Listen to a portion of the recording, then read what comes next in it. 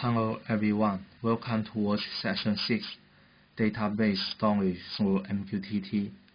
In this session, we will show you how to store data in MySQL server by MQTT broker. The software we are going to use is Haiwell Data Interconnection Tool. This software will transmit the data from MQTT broker to MySQL server or SQL server. The first step is configure the MQTT server. Click on the top left hand side, we can define the MQTT server. The host should be the MQTT broker your HMI connected to. You can check the IP address of MQTT server in our last session the IP address will be 192.168.0.104 and the port is default as 1883 and we can also enable the validation here and then click OK. So now we finish the configuration of MQTT server. Now we are going to add a new task add a task and click on setting. And give a name here and the project identifier will be the same as you created in your HMI project. You can also check on the last section.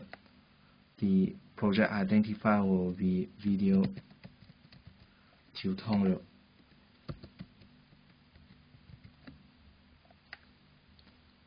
And the quality of service is the highest. And we can fill in the information of your database here. We support MySQL and Microsoft SQL Server. Now I'm going to fill in the IP address of my MySQL server 47.111.9 94.62 the default port is 3306 and username is root and then I'm going to enter the password of my my SQL server. And then I can choose a database. If this database is not existing in your MySQL server it will be created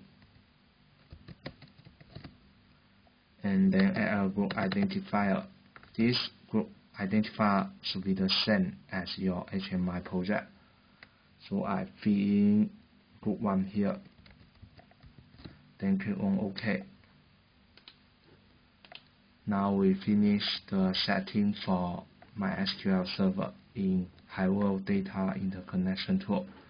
After that, we can click on Start. Now the data will be transmitted to my SQL server. Now I'm using software MySQL Fun to visit my MySQL server. As you can see here a new table group 1 is created